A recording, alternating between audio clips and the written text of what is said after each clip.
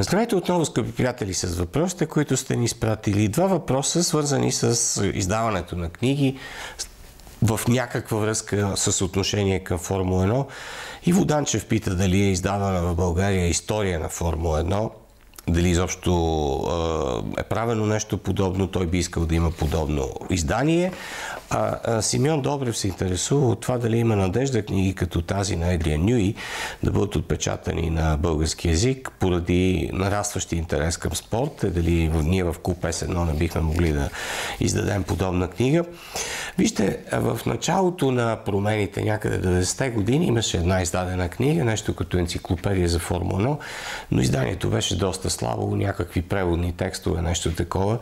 В миналото, 70-те години, Топлодолски и Марков направиха също едно такова издание с събрани статии, предимно от паралели и извадки от историята на Джеки Стюарт, примерно, но с така доста интересни насоки към това какво представлява Формула 1, какво представлява автомобилния спорт. Иначе, като завършено, качествено, хубаво издание до сега не е имало. Иначе доста книги обаче има свързани с Формула 1, с автомобилния спорт, които според мен заслужават интерес. Ние участвахме в издаването на една книга за живота на Енцо Ферари, изключително интересна, по която сега ще бъде направен един филм. Януари месец ще тръгне по кината.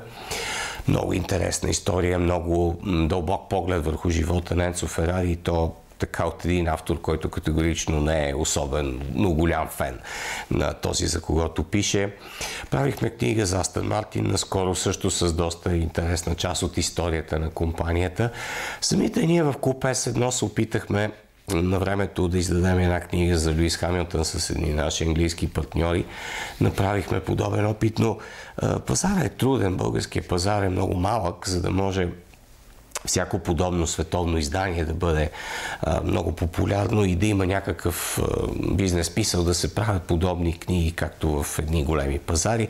Въпреки това, знам, че ще бъде подготвена една книга и за Макс Венстапен в скоро време.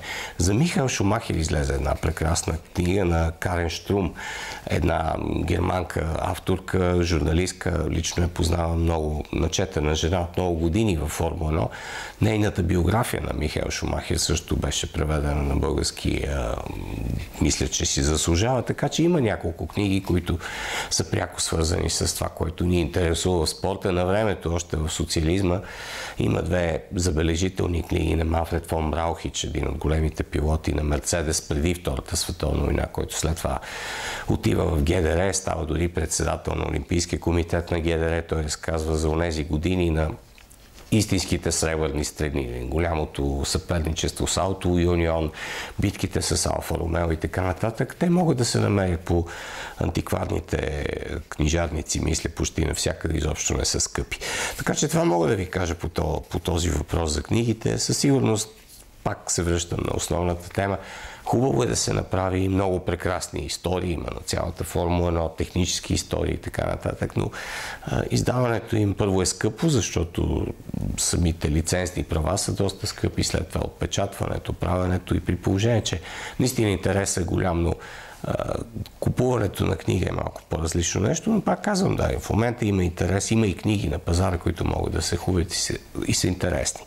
Благодаря за въпросите, ще се видим отново скоро.